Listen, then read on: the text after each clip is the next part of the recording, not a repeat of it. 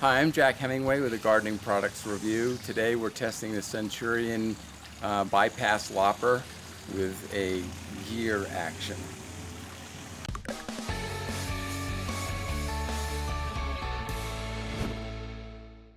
It's called the Multi-Gear Lopper 2X uh, cutting power and it cuts um, up to two inches and I wanted to show you some interesting features about this. It has a really fascinating sort of gear mechanism that creates all this cutting power. Also what's interesting is that there are extendable handles. All you have to do is push in on this button here and you've got a, a detent that locks in for one position and you also have a detent that locks into another position here. So you actually have three different lengths. One, two, three.